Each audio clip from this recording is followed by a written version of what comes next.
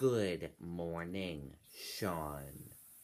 The New Hampshire Attorney General's office, along with local and state police, are investigating injuries to an 11 month old boy who died Sunday. Authorities received a report of an injured child at a home in Alexandria Friday, according to the New Hampshire Attorney General's office. State police and Alexandria police were in and out of the house on Fowler River Road throughout the day Friday and Saturday.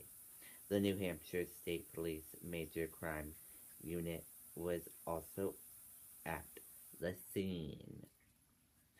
Neighbors in the rural area said they were aware of the police presence but didn't know what happened.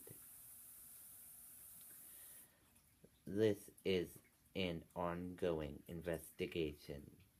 The Attorney General's office has not released details about how the child died, but said an autopsy is scheduled for Tuesday.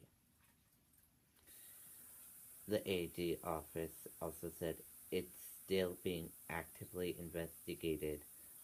The investigators are talking to people.